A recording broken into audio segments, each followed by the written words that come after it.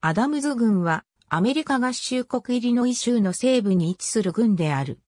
2010年国勢調査での人口は67,103人であり、2000年の68,277人から1.7%減少した。郡庁所在地はクインシー市であり、同郡で人口最大の都市でもある。アダムズ郡はミズーリ州にまたがるクインシー小都市圏に属している。アダムズ郡は1825年にパイク郡から分離して設立された。郡名は第6代アメリカ合衆国大統領ジョン・クインシー・アダムズにちなんで名付けられた。郡庁所在地のクインシーも同様である。アメリカ合衆国国勢調査局によれば、郡域全面積は871.34平方マイルであり、このうち陸地855.20平方マイル、水域は16.14平方マイルで、水域率は1.85%である。近年、軍庁所在地であるクインシー市の平均気温は1月の下市16度から7月の下市88度まで変化している。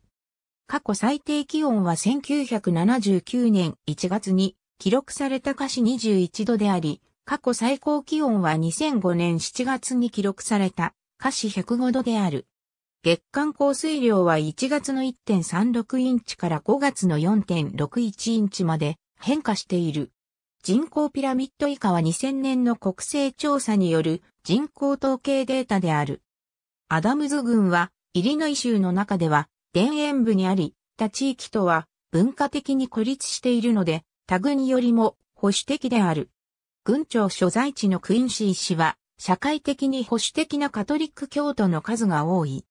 また、私立のカトリック系リベラルアーツ大学である、クインシー大学のキャンパスがあり、ウェスタンカトリックユニオンがあることも同様な傾向を持たせている。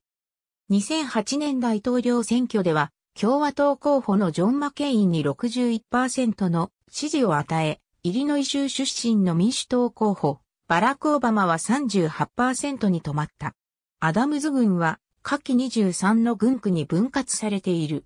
アダムズ郡の郡クズ郡内には私立学校が8校ある。ありがとうございます。